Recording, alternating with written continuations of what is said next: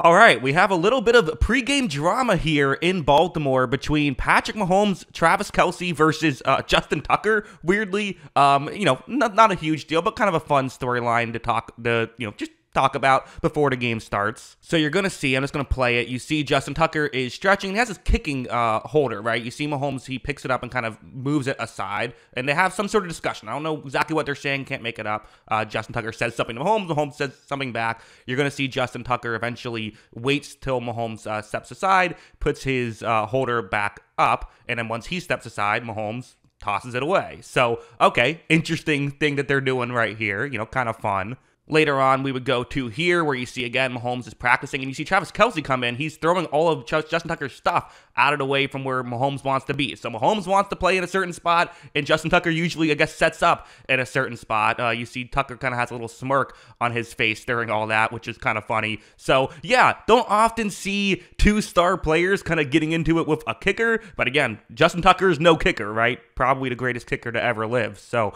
uh, just you know, again, little bit of uh, an additional storyline in what should be an awesome game.